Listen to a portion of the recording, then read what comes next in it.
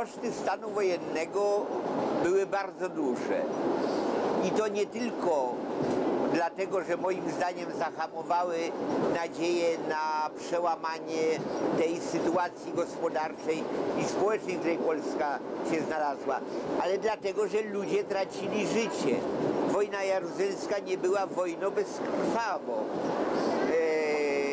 Otw- kiedy otworzono ogień do e, robotników, do górników w kopalni Wujek, padły trupy.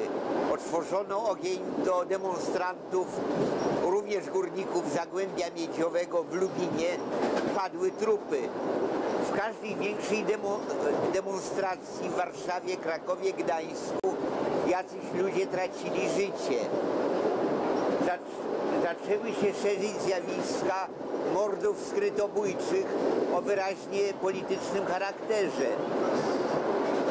Lista osób, które w, ten różny sposób w czasie stanu wojennego straciła życie, jest to około, zdaje się, 120 osób. Nie jest to mała liczba.